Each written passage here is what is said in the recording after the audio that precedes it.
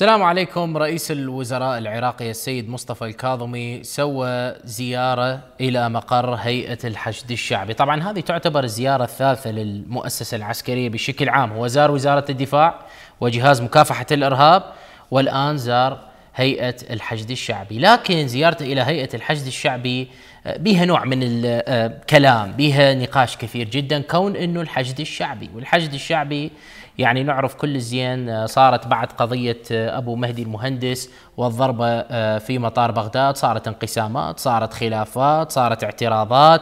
والسيد الكاظمي أيضا أشيع عنه للرجل إنه هو ضد الميليشيات ولحد الآن يعني أكو ناس تفهم الميليشيات إنه موجهة هذه الكلمة إلى الحشد الشعبي وهذا الموضوع يعني غير صحيح كون إنه خلص أصبح الحشد الشعبي من المؤسسة العسكرية. الميليشيات هنا يقصد بها اللي هي الفصائل اللي هي خارج إطار آه القانون. فالسيد مصطفى الكاظمي أثناء حضوره واجتماعه في مقر هيئة الحشد الشعبي أصبحت الأمور واضحة وحكى عن الفتنة اللي هي يحاولون يخلقوها بين الحكومة وبين الحشد الشعبي وبالعكس بل أعلن أنه راح تكون أكو عمليات ضد تنظيم داعش الإرهابي وهذه العمليات اليوم سمعنا بها رسميا انطلاقتها بالأنبار وبصلاح الدين وبنينوى ضد تنظيم داعش الإرهابي حتى الحدود السورية. فأكو تمشيط وأكو مواجهة لتنظيم داعش الآن وهذه تعتبر أولى العمليات اللي يقودها الكاظمي ضد الإرهاب. أيضا سمعنا من التسريبات أنه أكو عمليات راح تكون ضد الفصائل الوهمية، الفصائل اللي هي تدعي إنه هي تحت الحشد الشعبي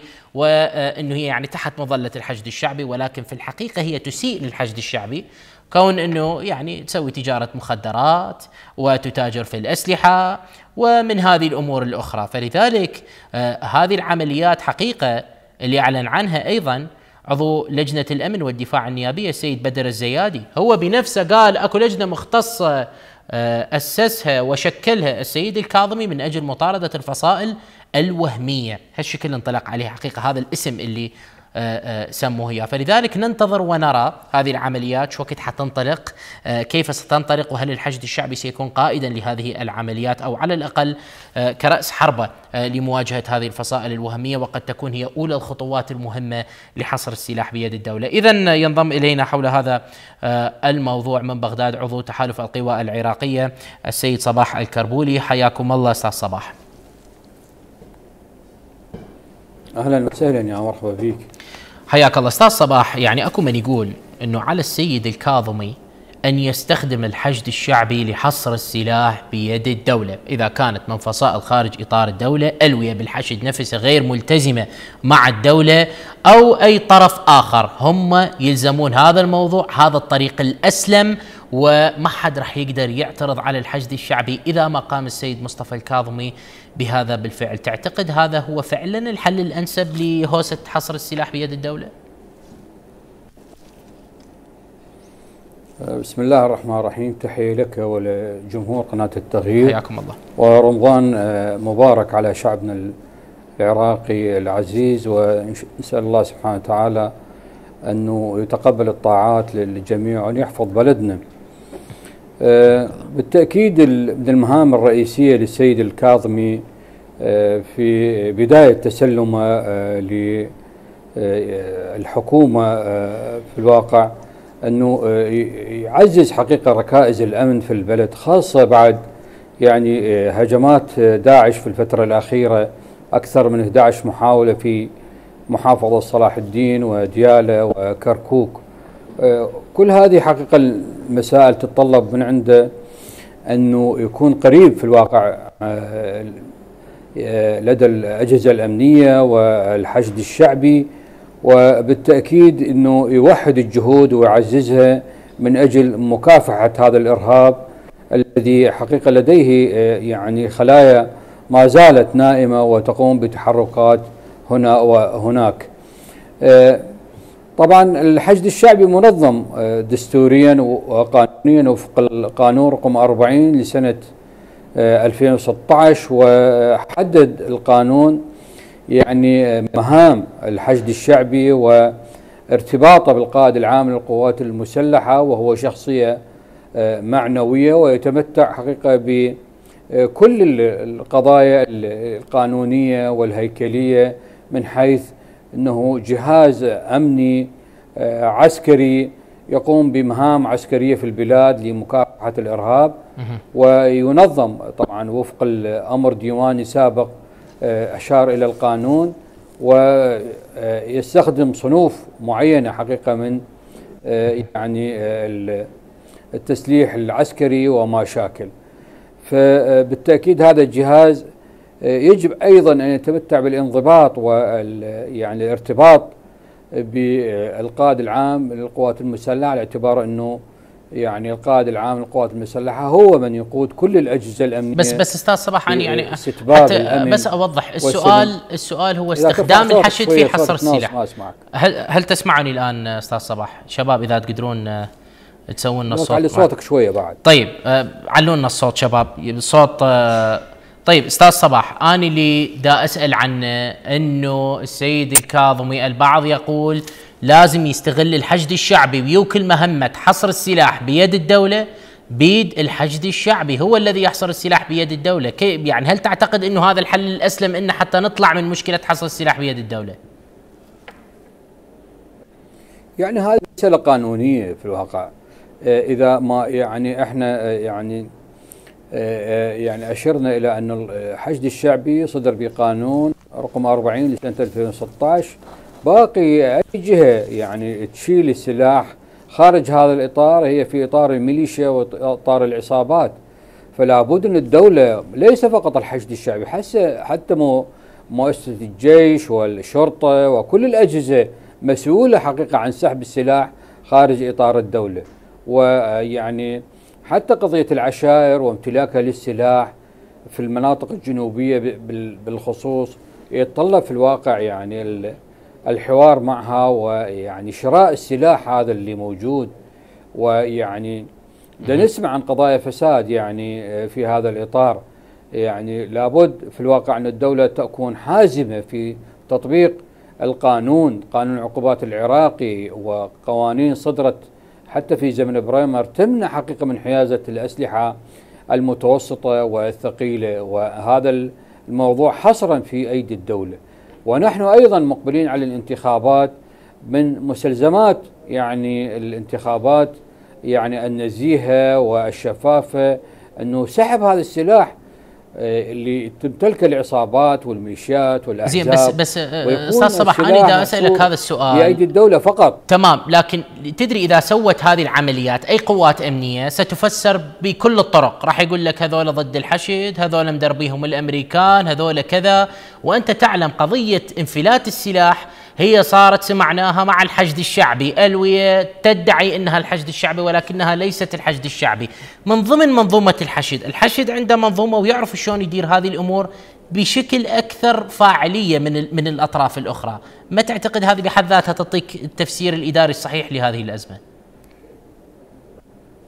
اخ حمد لو تعلي الصوت شوية صوتك حيل ضعيف ما طيب ما أدري والله يعني يبدو آه، اكو, أكو مشكلة. أكو مشكلة يبدو بالصوت تفضل. أستاذ أحمد. يعني الموضوع الدولة هي آه، مشرفة على هذه الأجهزة الأمنية.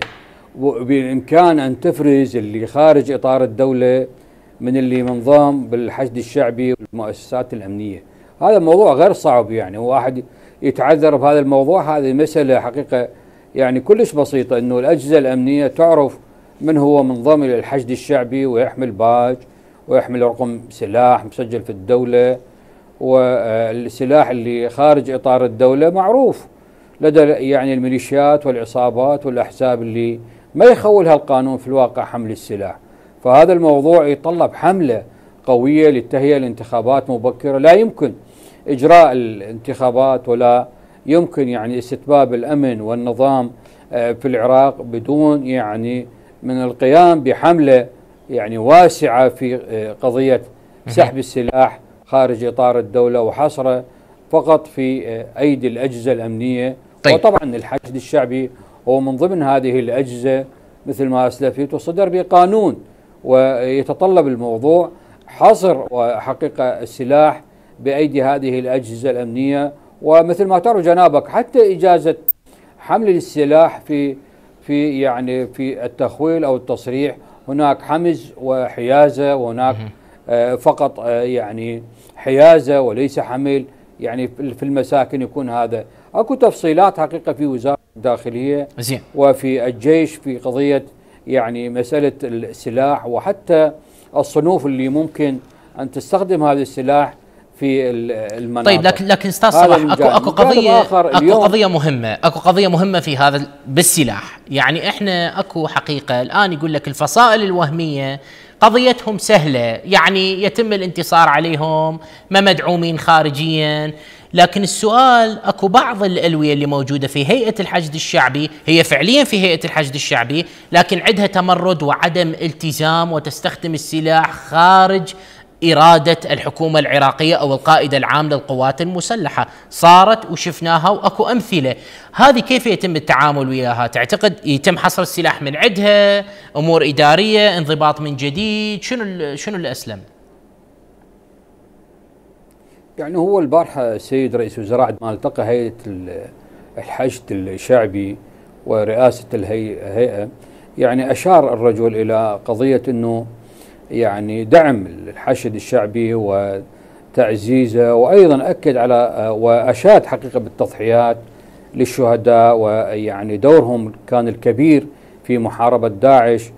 وأشار إلى قضية الانضباط يعني ولا بد حقيقه أن يتحلى كل منتسبي الحشد الشعبي بقواعد حقيقة اللياقة والسلوك المنصوص عليها في قانون العقوبات العسكري على اعتبار هم جزء من الأجهزة الأمنية ولا بد أن يخضعون لهذا القانون.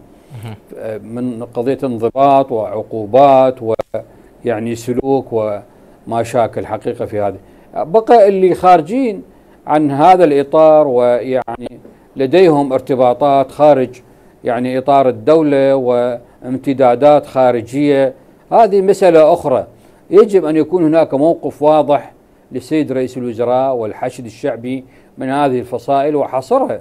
والتعامل معها حقيقة بقضية سياسية أولا ولا بد أنه آه، كل من يحمل السلاح داخل العراق يخضع إلى تعليمات وتوجيهات القائد العام للقوات المسلحة فهذه المواجهة مطلوبة حتى نحدد ونفرز من هي جهات مع الدولة ومن هي الجهات اللي لديها امتدادات خارجية ويمكن حصرها والتعامل طيب لكن لكن معها أستاذ صباح متى تعتقد هذه صارت؟ ما تعتقد صارت في فترة السيد عادل عبد المهدي الحشد الشعبي راح على المقرات الوهمية وغيرها؟ وبالنتيجة من اشتغلت الكاتيوشا والضرب على الأمريكان وغيرها وكذا تبين أنه يعني لم يتم الكثير في هذا الموضوع. يعني إحنا نتكلم بإطار دولة وتحترم القانون وتحترم الدستور لابد من توجيهات واضحة ولابد من إجراءات حاسمة. يعني كانت سياسية أو كانت أمنية. فلا بد أن الرجل أن يأخذ خطوات واضحة وصريحة وعدم التعامل بازدواجية مع هذه القضايا آه، وخاصة أن العراق يعيش تهديدات يعني أمنية وسياسية خطيرة. يعني في المرحلة الماضية على وشك انهيار الدولة من أزمة اقتصادية ولاحقتها أيضا إجراءات وتهديدات أمنية من عصابات داعش و يبدو أنه الخلايا النائمة ما زالت موجودة في المناطق اللي أشرت إلها وتتحرك وفق خطط وفق يعني برامج إلها ولابد في الواقع أنه الأجهزة الأمنية تصدى وتكون حازمة في هذا الأمر خوفا من تكرار يعني آه، مشاكل يعني واحتلالات 2014 وما تبعها حقيقة من مواجهات عسكرية ومع الإرهاب. هذه القوات الأمنية مطلوبة وأيضا الجهد الأمني والاستخباري وتعاون المواطنين والعشائر في هذه المناطق مطلوب. يعني في التبليغ عن آه، يعني شبهات داعش والخلايا النائمة صحيح أن الأمر بنوع من الصعوبة ولكن لابد آه، في الواقع من اتخاذ هذه المسائل طيب. باتجاه يعني اجتثاث يعني داعش مثل ما أشار السيد رئيس الوزراء يوم أمس في لقاء مع الحشد الشعبي تكثيف جهد الدولة الرسمي والشعبي مطلوب والعشائري مطلوب في مواجهة هذا الخطر. طيب لكن تدري يعني أكو حقيقة خلاف في داخل الحشد الشعبي أكو اختلاف في وجهات النظر والبعض سماه انفكاك بعد اللي صار آه، من آه، عملية استهداف لأبو مهدي المهندس واستهداف المطار. أكو تفكك يعني آه، ألوية قادة ألوية المرجعية والقادة الآخرين يعني كانوا قاعدين كلهم بهذا الاجتماع لكن أكو انفكاك وبسبب البديل لأبو مهدي المهندس اللي هو أبو فدك وبعدين أبو منتظر الحسيني جابوه لكن على ما يبدو لا زالت المرجعية غير راضية عن البديل ما تعتقد أو بالأحرى هل تعتقد إنه السيد الكاظمي حيقدر يحل هذه مسائل الانفكاك والاختلاف في وجهات النظر داخل الحشد الشعبي؟ يعني التحدي الموجود وخطر داعش الداهم والمحاولات الأخيرة اللي صارت يتطلب في الواقع نوع من الحكمة والإيثار والتنازل واختيار شخصية مناسبة ممكن أن تلعب هذا الدور في إشغال هذا المكان. يعني وقضية حقيقة الجدال والخلافات يعني السياسية يجب أن لا تتطور وتتوسع بحيث أنه تعطل يعني تفعيل هذا المنصب من أجل يعني القيام بالدور الحقيقي والمناسب في مواجهة هذا الخطر الداهم آه، يتطلب في الواقع يعني اختيار شخصية مناسبة ممكن آه، يعني لديها الخبرة ولديها العلاقات آه، اللي تمكنها من أداء دورها والتنسيق حقيقة مع المؤسسات العسكرية والأجهزة الأمنية الأخرى في يعني لعب هذا الدور بالتنسيق ويعني مثل ما كان السيد المهندس يعني قائم بهذا الدور سابقا ولا بد أن تكون الشخصية الجديدة مؤهلة لهذا الدور في ضبط يعني عناصر ومقاتلي الحشد من جانب ومن جانب آخر أنه يلعب دور كبير في مكافحة الإرهاب والخطط والتنسيقات مع التحالف الدولي وحتى مع الأجهزة الأمنية وقوات الطيران طيب لكن و... لكن الموضوع آه، أستاذ صباح يبدو أكبر. يبدو كبير. يبدو هذا الموضوع ليس بالموضوع السهل. تدري إحنا بدنا نحكي عن هيئة هي في المؤسسة العسكرية العراقية. إحنا ما سمعنا شرخ في جهاز مكافحة الإرهاب أو في وزارة الدفاع. هذا شرخ خطير جدا كون إنه هيئة الحشد الشعبي يعني هيئة مهمة يعني جدا في مقاتلة إنه هذا الجهاز بطبيعة خاصة بطبيعة خاصة في الواقع. أه. يعني هو يعني أنشئ وتأسس على أثر توجيه المرجعيه الدينية في النجف وعلى يعني على أثر يعني التهديدات الإرهابية. وكانت حقيقة وقفة شجاعة ووقفة يعني آه، تسجل في التاريخ لهذه القوة الحقيقة آه، يعني المقاتلة البطلة اللي ساهمت في تحرير العراق في الموصل وفي الأنبار وصلاح الدين وكل المناطق الأخرى. وصدت الهجوم عن بغداد. هذا الموقف في عام 2014 وإلى آه، سنة 2017 حقيقة كان يعني دور كبير ومؤثر وطبيعة تشكيلة و حتى قياداته ويعني المقاتلين كانوا حقيقة يعني موقفة مش عراقية مشرفة استجابة لنداء المرجعية ونداء الوطن. وحقيقة عززت من وحدة العراق آه، وأيضا من آه، مقاتلي الحشد قوات حقيقة الحشد العشائري وأيضا من الأخوة الأقليات. كانت حقيقة قوة وطنية. فاعلة في مكافحة الإرهاب ولا بد من تعزيزها كما أشار السيد رئيس وزراء يوم أمس في قضية الاهتمام بشهداء الحشد وتعزيز هذه القوة لتكون أيضا ظهيرة للجيش وفي مقدمة أيضا يعني القوات الأمنية في مواجهة الإرهاب باعتبار طيب. أنه صار عندهم خبرة يعني كبيرة في قضية المواجهه زين لكن إحنا أكو قضية مهمة. السيد مصطفى الكاظمي يعني من قبل أن يصير رئيس وزراء وحتى من صار رئيس وزراء كانت هنالك تصريحات وخاصة من حزب الله العراقي موجهة إلى الرجل فيها اتهامات وكلام كثير جدا والكل مطلع عليها. السؤال الأهم هنا سيدي الكريم ما بين فصائل المقاومة الإسلامية وما بين الحشد الشعبي. تدري مرات تقول هذه الفصائل المقاومة الإسلامية إحنا حشد. وفي بعض الأحيان من يجي حصر السلاح بيد الدولة يقول لك لا إحنا كنا قبل الحشد. طيب الطريق ما هو الطريق الأسلم؟ هذول قاتلوا داعش هذول ساعدوا العراق. ما هو؟ نحتكم للقانون وخلص يسلمون سلاحهم آه، أم أن هنالك تبويب آخر لهذا الموضوع؟ يعني لابد آه، أن تكون الصورة واضحة للكل. إذا مع الحشد الشعبي وأن تنظم طبعا الحشد الشعبي منظم بطريقة الصنوف طريقة الألوية والأفواج وكل الترتيبات على غرار الجيش وحتى الصنوف. هذه القوة يجب أنه ينحسم أمرها آه، مثل ما أشرت أنه بقضية سياسية وقضية فنية فلا بد أن تكون الصورة واضحة أمام الشعب العراقي وحتى القائد العام هاي مهمته في الواقع إنه يجب أن يسيطر على كل السلاح الموجود في البلد ويعني آه، تلافيا للمواجهات لا سامح الله إذا ما حدثت بينها. لابد أن تكون يعني حسم لهذا الأمر من خلال القيادات ومن خلال الحوار والحوار البناء. وقضية التبعية نحن طبعا آه، نأمل انه حكومة السيد الكاظمي أن يكون هناك سيادة للعراق وأن يكون استقلال لقراره الأمني والوطني.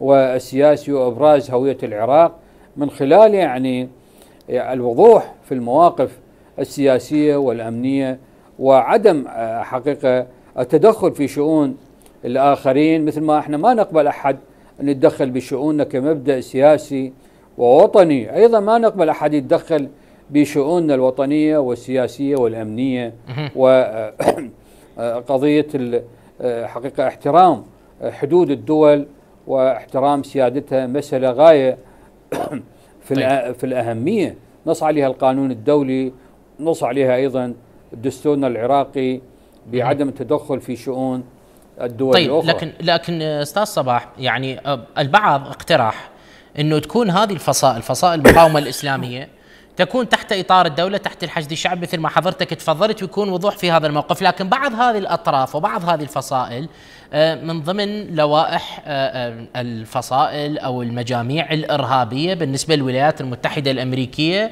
وقد تكون أيضا بنظر بعض الدول الموجودة في أوروبا إنه هذول إرهابيين، يعني ألا تعتقد إنه أكو خطورة نوعا ما إذا ما تم دمجهم فعليا تحت هيئة الحشد الشعبي وقد تسيء إلى الحشد الشعبي في حالة وصولنا إلى هيك حل؟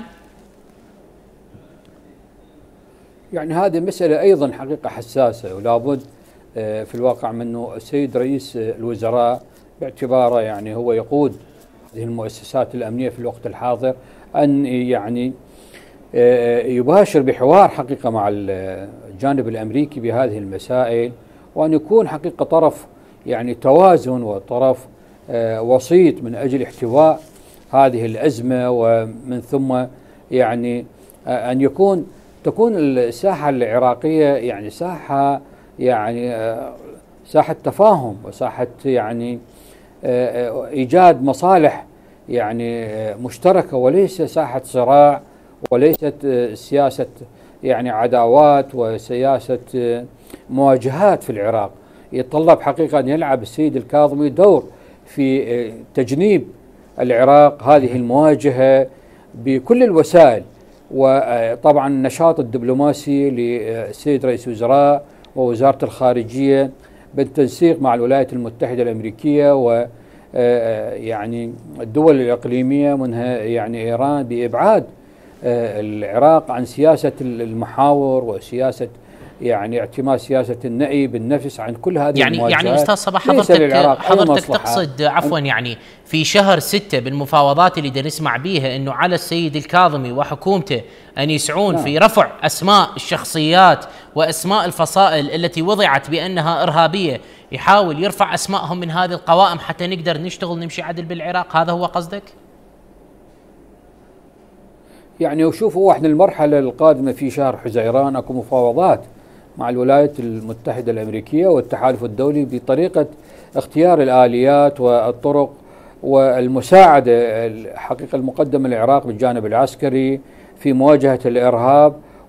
وأكيد يعني طبعا القوات الأمنية بينت أن القوات العراقية بما فيها سلاح الجو وطيران الجيش وكل حقيقة غير كافية في الوقت الحاضر لمواجهة الإرهاب. فلا بد حقيقة من التنسيق والتعاون. وبالنسبة للأسماء والأشخاص اللي آه، متهمين بالإرهاب يعني هذه قضية حقيقة قضائية وقانونية بالدرجة الأساس. يعني متى ما أثبتت يعني الولايات المتحدة أو الجهات اللي آه، يعني تطلب يعني محاسبة هؤلاء الأشخاص وحتى يعني وزارة الخزانة الأمريكية حول هذه الأسماء واتهامهم بالإرهاب يتطلب في الواقع أدلة ووثائق وبالتأكيد القضاء العراقي إلى دور والعراق إلى قانون يعني لكن لكن لم يسعى العراق في حل هذه الأزمة تحكم. أستاذ صباح ما سعينا لحلها ولا طالبنا بالوثائق ولا طالبنا بالأدلة فقط شجبنا واستنكرنا وانتهى الموضوع لا حقيقة هذه تعتمد على يعني أدلة إثبات ويعني وثائق وشهود عيان في هذه الممارسات اللي الولايات المتحدة اللي على ضوءها أسست يعني إلى هذه التهم.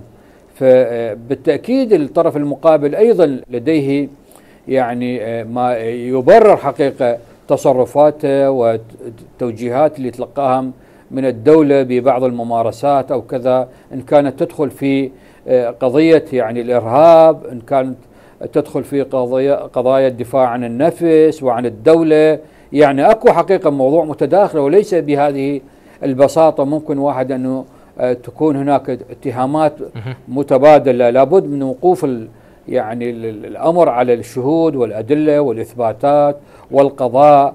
وبالتأكيد الدفاع عن النفس هو حق مقدس كفل الدستور والقانون لأي شخص أنه ممكن يمارسه في الدفاع عن آه، حقه. وإذا ما كانت لدى الولايات المتحدة أدلة أو وثائق تثبت إرهاب جهة معينة أو شخص معين ممكن أن تقدمها عن طريق القانون العراقي. حتى ممكن يكون هناك اتهام وتكون هناك دعاوى. هو هذا الدستور وهذا القانون وهذه الآليات لكن وليس لكن تعرف أستاذ صباح يعني البعض يعتقد خلف الحدود. تمام. البعض يعتقد إنه العراق متقصد ما يمشي ولا يطالب بهذه القضية ولا يفتح هذا الملف لأنه مو من مصلحته إذا طلعت فعلا هذه الإثباتات صحيحة على الأشخاص المذكورين والفصائل المذكورة راح تسوي صدام خطير جدا في الداخل كون إنه هذه آه، أطراف لديها قدرات عسكرية وقدرات داخلية وعندهم جماهير. ما تعتقد فتح الملف بحد ذاته هذا قد يكون صعبا في هذه السنة على الأقل آه، للسيد الكاظمي؟ من أول أنا أنا بس يعني أكدت أكثر من مرة على الصوت مالك كلش منخفض وما تعالج لحد الآن. أها عجيب. حتى يكون الحقيقة يعني السؤال واضح حتى نعرف نجاوب عجيب. عليه. أه يعني أتمنى من الزملاء طيب أنا يعني حقيقة اكو قد يكون المشكلة من من عندك. لكن طيب أه، أه، أستاذ صباح أنا حتى أكرر السؤال مرة ثانية. هذه الشخصيات وهذه الفصائل الموجودة في هذه القوائم اللي بدنا نحكي إحنا بيها يعني حقيقة آه، يعني البعض يعتقد إنه الحكومة متقصدة ما تفتح هذا الملف ولا تطالب بالملفات أو الوثائق. متقصدة تماما لأنه إذا فتح هذا الملف حيكون بصدام هذه أطراف عندها قدرات عسكرية. يعني أخ أحمد يعني الدولة آه، تتصرف بإجراءات دستورية وقانونية. ماكو عندنا شيء نظام من تحت الطاولة. يعني عمل الدول والقوانين وال إجراءات الأجهزة الأمنية ينبغي أن آه، تعمل بها بكل وضوح وصراحة مع كل الأطراف وليس موضوع آه، متخفي.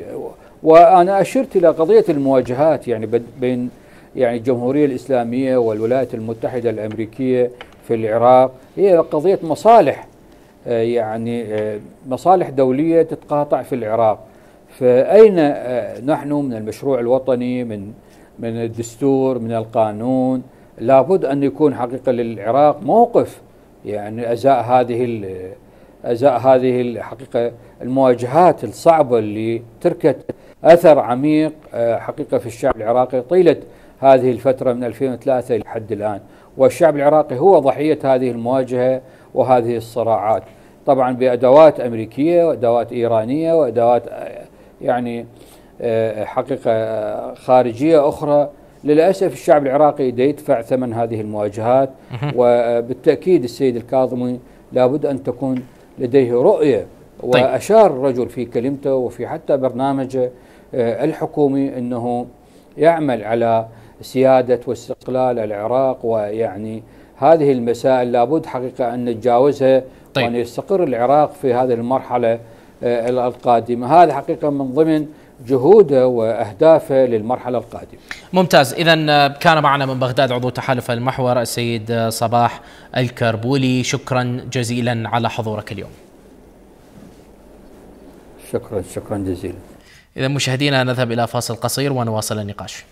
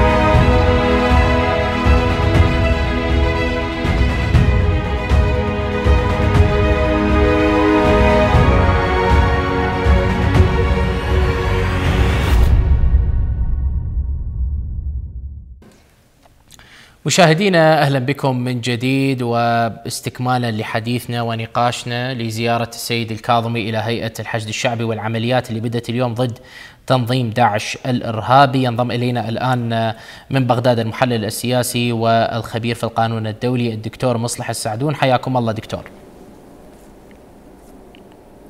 من قال حيا السلام عليكم مساء الخير عليك وعلى مشاهدينا الكرام. حياكم الله دكتور. يعني خلينا نبدي من العمليات الآن اللي تصير ضد تنظيم داعش الإرهابي. تدري الملاحظ أنه التحالف الدولي غير موجود وغير مشارك في هذه العمليات لا من ناحية الرصد ولا الطيران ولا غيرها. تعتقد بها رسالة مبطنة لأمريكا ولدول التحالف الدولي قبل المفاوضات اللي راح تصير بشهر ستة؟ وحقيقة هذه العملية العسكرية هي آه، ضرورة ملحة وتستوجب آه، القيام بها سواء بالتعاون مع التحالف الدولي أو بدونه. كون العمليات اللي, اللي تعرضت لها القطاعات العسكرية في الآونة الأخيرة من آه، قبل تنظيم داعش الإرهابي تكررت وازدادت حدتها وضحاياها كثيرة والتعرض في أماكن مختلفة. آه، وبالتالي لازم يجب أن يكون للدولة آه، من رد وإلا ستكون في موضع الدفاع والدفاع آه، المهاجم يختار نقطة الانطلاق والوقت والزمان والمكان وبالتالي يتفوق على القطاعات المدافعة في الناحية اللي يسموها العسكريين الناحية السوقية لأنه حرب العصابات تستنزف وتستهلك القوات العسكرية مهما كان قوتها أما موضوع وجود القوات التحالف حقيقة آه، قوات التحالف آه، كانت تدعم القوات العسكرية العراقية من خلال الرصد الجوي واللي ذكرناه إحنا يمكن بالحلقة السابقة موضوع نعم. المناطيد والأقمار الصناعية وطائرات الاستطلاع والى اخره فهذه الموضوع إضافة للمعلومات الاستخباراتية الأرضية. المعلومات يفترض أنه هنا إحنا حقيقة يعني بعد خروج التحالف الدولي وانسحاب التحالف الدولي أظهر عندنا فشل المنظومة الأمنية الاستخباراتية في العراق فشل ذريع. أما القوات المسلحة لا هي لأنه حرب العصابات أكيد مثل ما ذكرنا أنه موضوع اختيار توقيتات المكان والزمان يحددها المهاجم. طيب لكن والمهاجم دكتور هذا الفشل منين استنبطت؟ الفشل اللي حضرتك تفضلت به هل استنبطت أنت واستشهدت به من اللي صار بجنوب تكريت؟ اللي صار في جنوب تكريت واللي صار في آه، كركوك واللي صار في ديالة. يعني عمليات مستمرة متتالية يعني آه، أستاذ أحمد. عندما تحدث حالة ممكن أن تحدث حالة حتى في المنصور في بغداد.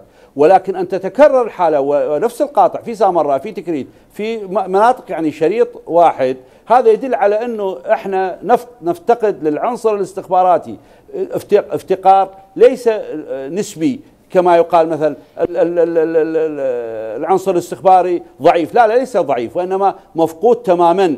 يعني وبالتالي راح يكون آه، من باب أولى أن يكون مفقود في في أماكن أخرى، إذا كان في مناطق حساسة وفيها احتكاكات وفيها تعرض وعندنا خسائر إلا اللهم إنه إنه الجهات الاستخباراتية ومن وراءها آه، هو شريك أنا لا أقول إنه شريك إلا إنه هو يعني يرتضي هذا العمل طيب لكن لكن دكتور وين دور الاستخبارات؟ حضرتك حضرتك بدك تحكي الآن أمور فنية، أنا سألتك سؤال أريد سياسيا، أكو ناس افتهمت هذه رسالة للتحالف الدولي وأمريكا آه، يريدون ينجحون تنجح هذه العملية ضد داعش إن شاء الله وناجحة إن شاء الله لكن بها رسالة سياسية إلى هذه الأطراف. سيد الكريم ال ال هناك آه، من يريد أن يثبت وجود القوات الأمنية وهذا حق مشروع للبلد إنه نحن آه، أيها الأمريكان نحن نستطيع أن ندافع بدون الحاجة لكم بدون العودة لكم بدونكم.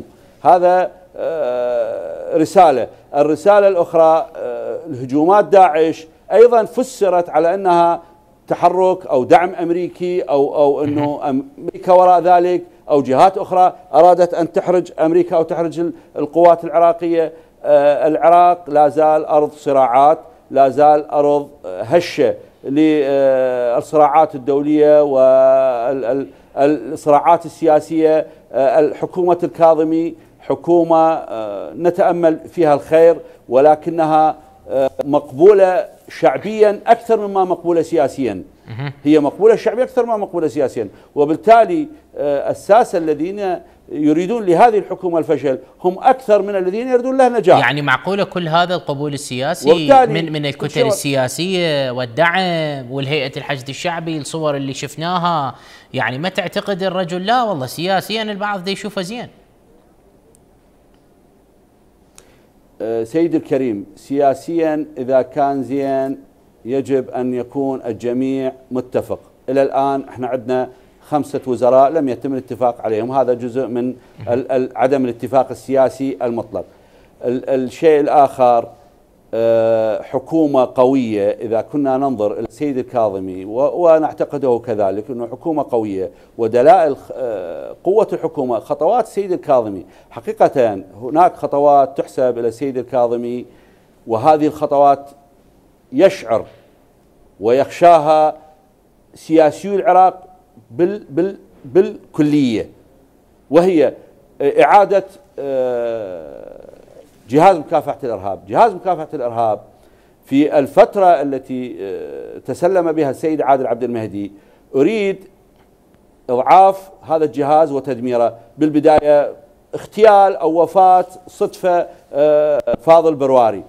من ثم إحالة عبد الغني الأسدي إلى الفريق عبد الغني الأسدي إلى التقاعد. ومن ثم إحالة الفريق عبد الوهاب الساعدي إلى الإمرة.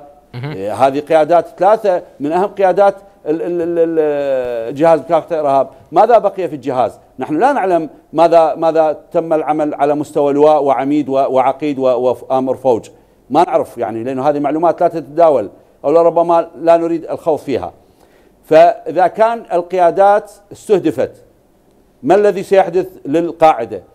إلى الجيش وما صرحت شخصيات دينية محسوبة على تيارات معينة من أنه هذا الجيش وهم يقولون وكان هذا الناصري وأنا رديت عليه في هذا المنبر أنه آه، هذا لا يمثل العراق ويمثل آه، أصوات نشاز آه، لإرادات دولية أخرى تريد النيل من القوات المسلحة طيب. والجيش العراقي بالذات عندما قال أنه الجيش العراقي جيش مرتزق فكانت هجمة لتدمير الدولة المؤسسة العسكرية العراقية التي خلينا بالمؤسسة العسكرية في محاربة مصلح. داعش. أنا أريد أعرف من حضرتك أنت شنو اللي افتهم شنو الرسالة نعم. اللي افتهمتها من زيارة السيد مصطفى الكاظمي إلى مقر هيئة الحشد الشعبي؟ بها رسالة بها نقطة إيجابية شنو اللي استنبطته من هذا اللقاء كله؟ السيد الكاظمي إحنا خلينا نتسلسل بها تسلسلا زياراته العسكرية. بالبداية إعادة هيك إعادة بناء جهاز مكافحة الإرهاب. وعندما يعيد الناس الذين تم إقصائهم من ضمن من قبل الحكومة السابقة هذا راح يعزز موقفه كرئيس حكومة جاد في اتجاهات آه، محاربة الفساد في حصر السلاح بيد الدولة ونعلم أن جهاز مكافحة الإرهاب من أقوى الأجهزة العسكرية الموجودة في العراق يعتبر جهاز رقم واحد. وزارة الدفاع آه، أن يكون رئيس الوزير الدفاع اللي هو الرئيس الأعلى لهذه الوزارة من آه هذه الوزارة من من عنا من من أجهزتها من قياداتها باعتباره هو كان قائد عمليات صلاح الدين من نفس المؤسسة الأمنية من أبناء المؤسسة هذه الأمنية. هذا آه سيعيد لهذه المؤسسة قوتها و لديه خبرة في أخطاء هذه المؤسسة وما تتعرض له وكيفية النجاح. وجود السيد الغانمي الفريق الأول عثمان الغانمي على وزارة الداخلية نجاح في وزارة الداخلية إلى يعلم كيف يتم التنسيق ما بين الداخلية والدفاع. أن أريد التنسيق في أي عمل معين لأنه آه، السيد عثمان الغانمي هو أحد قادة آه، وزارة الدفاع وعمل قائد فرقة ورئيس أركان جيش لفترة طويلة ويعلم أدق التفاصيل في وزارة الدفاع وليس ببعيد عن وزارة الداخلية كون هو عمل ضمن المؤسسة الأمنية وعضو الهيئة الوزارية العليا للأمن الوطني. وبالتالي سيكون لدينا مؤسسة أمنية قوية. نجي إلى موضوع زيارة السيد الكاظمي إلى هيئة الحشد الشعبي. هي أيضا تنخرط ضمن إطار إنه هذه المؤسسة ضمن مؤسسات الدولة الأمنية والتي تتبع إلى القائد العام للقوات المسلحة. لكن ما حدث الرسالة كان الجواب على ما نراه وما تم تحليله إنه الجواب كان آه، مغاير لما أريد من هذه الزيارة. كون يفترض إنه إحنا نذكر الأمر الديواني اللي صدر في تموز العام الماضي من إعادة هيكلة الحشد الشعبي وربطة بالأجهزة الأمنية ويكون تحت منظومات آه، الأمنية وتابع للقائد العام للقوات المسلحة ويكون أسوة بالمنظومات العسكرية الأخرى. زي. ما شاهدناه عندما ذهب السيد وزير الدفاع رئيس الوزراء إلى جهاز مكافحة الإرهاب استقبل من قبل قادة هذا الجهاز من الضباط. وعندما ذهب إلى وزارة الدفاع استقبل من قبل قادة الجيش وهم من الضباط. عندما ذهب إلى إلى هيئة الحشد الشعبي في العادة عندما تصير لقاءات وزيارات إلى هيئة الحشد الشعبي تكون قادة هيئة هيئة الحشد الشعبي يرتدون اللباس الذي آه، لبس إلى إلى إلى السيد رئيس الوزراء اللي كان يرتديه آه، السيد فالح فياض. لكن اللي حضروا الاجتماع هم ناس معممين. ناس معممين. يعني يعني أنا ما أعرف الرسالة اللي التي يريد الإيصال لها. نحن نعلم أنه هيئة الحشد الشعبي الحشد الذي يتبع إلى مرجعية السيد علي السيستاني في النجف رفض البقاء تحت قيادة هيئة الحشد الشعبي وانضم إلى حشد وزارة الدفاع ومن نعم. ثم لحق في آه، في أمر ديواني في آخر وقت في مكتب رئيس الوزراء وبالتالي لم يبقى من الحشد الشعبي الذي يتعب يتبع عفوا يتبع لمرجعية النجف المرجعيه العراقيه هو آه، آه، انسحب إلى باتجاه وزارة الدفاع ومكتب الوزراء. وما تبقى ووجود ناس معممين وهذا يدل على أنه هذه هيئة عقائدية وليست هيئة أمنية. طيب لكن هذا هذا العقائدية. هذا يعني عفوا دكتور نعلم إنها لا تتبع عفوا دكتور هسه واضح نعم. السيد الكاظمي باللقاء قال أنتم بإطار قانوني وأنتم من ضمن القانون ومن ضمن المؤسسه العسكريه، إحنا ما نريد نخوض إنه عقائديين وخارج وداخل إطار الدولة، أنا أريد أسألك سؤال من ضمن هذا الكلام اللي حضرتك تفضلت به. أكو مادة بالدستور المادة تاسعا اولا الفقره باء بالتحديد، هذه تحظر تكوين الميليشيات العسكرية خارج إطار القوات المسلحة. يعني ما دام حظر معناتها أي شيء راح يصير خارج إطار القوات المسلحة فهو باطل تماما. إيش قد تعتقد السيد الكاظمي وهو يتكلم عن القانون وأنه الحشد من ضمن القانون، إيش قد حيقدر آه، يلتزم بهذه المادة اللي يعني حقيقة آه، يبدو ماكو التزام بها من الحكومات السابقة، إيش قد حيلتزم وإيش قد راح تأثر على الأرض عندنا بالعراق؟ سيدي الكريم إحنا آه، قلنا إنه المواجهة بين الفصائل المسلحة والحكومة ستحدث ستحدث وليس هذا الكلام لي أو تحليل أو, أو أختص فيه وإنما هذا آه، كلام أثير وتم النقاش فيه وكثيرين من المحسوبين على كل التيارات وعلى المستقلين آه، أني وغيري المستقلين نقول هذا الكلام. هذا الكلام الذي اتفق عليه الجميع وهو أن المواجهة قائمة آجلا أم عاجلا. ما بين الفصائل المسلحة التي ترفض الانصياع إلى الدولة وحصر السلاح بيد الدولة وتسليم سياحها. أنا أسأل سؤال هؤلاء المعممين هل يخضعون ضمن مؤسسة عسكرية؟ يعني هل يعلم إنه أكو مؤسسة عسكرية عندنا يعني إحنا حصر السلاح بيد الدولة ولا يوجد أي مؤسسة أي جهة عسكرية تحمل السلاح خارج حسب ما تفضل جنابك حسب نص الدستور المادة السادسة. طيب هذا المعمم عندما يذهب بالقوة الآن هو هو قائد قوة يعني وليس عسكري. طيب هذا المعمم عندما يذهب بقوة عسكرية. يعني أنا ما أعرف يعني أنا هسه الآن في الشارع أتعامل معه على أنه ميليشيا أم أتعامل معه على أنه هو قوة عسكرية. ما أعرف يعني يعني هذا التفسير يفترض أنه الإجابة تكون برئيس الوزراء تحديدا. إحنا قلنا هيكلة الحشد الشعبي وجعله ضمن المؤسسات الأمنية وألوية وأفواج وسرايا طيب. وتعمل ضمن المؤسسة العسكرية ويفترض عندما يرسل لواء إلى قاطع صلاح الدين على سبيل المثال قائد عمليات صلاح الدين هو اللي يحرك هذا اللواء ويوجهه إلى أماكن حسب الحاجة العسكرية وقدرة طيب. هذا اللواء لمعالجة آه، موقع معين طيب إذا كان هذا معمم ويعني إحنا معمم ونعرف إنه هذا المعمم لا يرتبط إلى إلى مرجعية دينية في العراق. وبالتالي طيب. هذا هذا يعني هاي مؤسسة أصبحت عقائدية وليست أمنية. طيب. والمؤسسة العقائدية تتبع رجل دين ورجل الدين ليس في العراق. زين. طيب دكتور. طيب آه اذا يعني حقيقة أخشى أن الوقت اليوم آه قصير مع حضرتك. كنا نتمنى أن يطول. كان معنا آه من بغداد المحلل السياسي والخبير في القانون الدولي الدكتور مصلح السعدون. شكرا جزيلا على حضورك اليوم. عفوا عفوا أشكرك. إذا مشاهدينا بهذا نصل إلى ختام حلقتنا لهذا اليوم. أشكر لكم طيب المتابعة. إلى اللقاء.